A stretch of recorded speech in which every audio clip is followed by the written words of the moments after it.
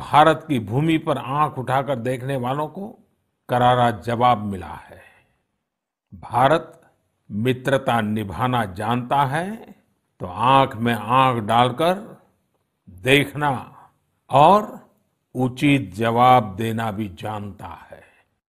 हमारे वीर सैनिकों ने दिखा दिया है कि वो कभी भी माँ भारती के गौरव पर आँच नहीं आने देंगे।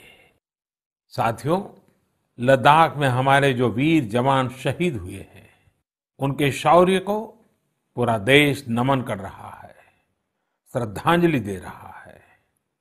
पूरा देश उनका कृतज्ञ है, उनके सामने नतमस्तक है।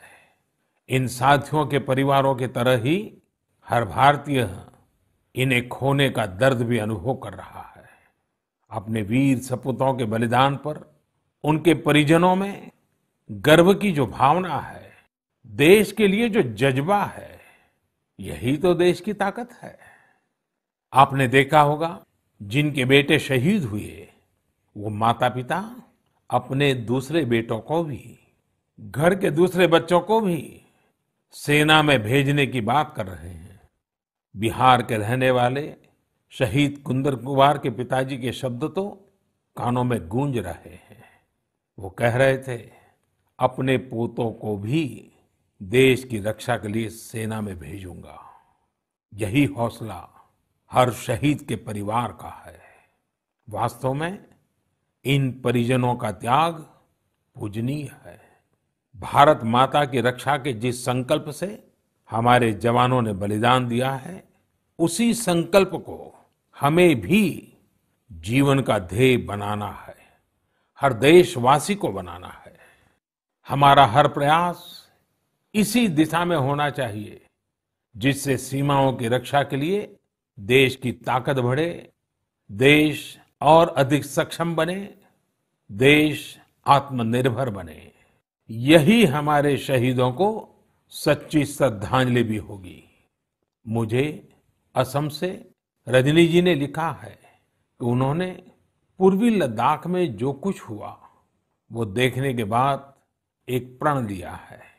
प्रण ये कि वो लोकल ही खरीदेंगे, इतना ही नहीं, लोकल के लिए वोकल भी होगी।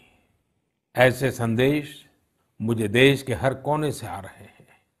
बहुत से लोग मुझे पत्र लिखकर बता रहे हैं कि वो इस और बढ़ चले हैं। इसी तरह तमिलनाडु के मदुरई से मोहन रामामूर्ति जी ने लिखा है कि वो भारत को डिफेंस के क्षेत्र में आत्मनिर्भर बनते हुए देखना चाहते हैं। साथियों, आज़ादी के पहले हमारा देश डिफेंस सेक्टर में दुनिया के कई देशों से आगे था। हमारे यहाँ अनेकों ऑर्डिनेंस फैक्ट्रियाँ होती थी। उस समय कई देश जो हमसे बहुत पीछे थे, वो आज हमसे आगे हैं।